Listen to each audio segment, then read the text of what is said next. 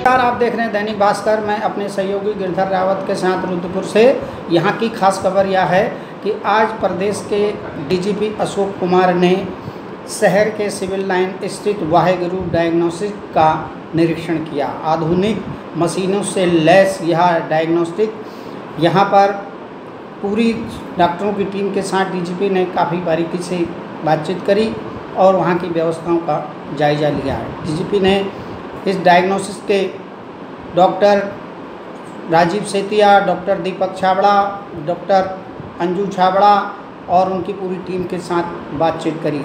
इस दौरान डीजीपी के साथ IG Kumaon, Ajay Rautela SSP Udham Singh Nagar, Dilip Singh Kunwar SP city Mamta Bora सहित पूरा पुलिस का अमला साथ था। इसके बाद डीजीपी सीधे वहाँ से सिटकुल चौक स्थित साइबर थाना पहुँचे जहाँ पर जाकर के उन्होंने वहाँ की भी व्यवस्थाएँ देखी और वहाँ का बारीकी से निरीक्षण किया।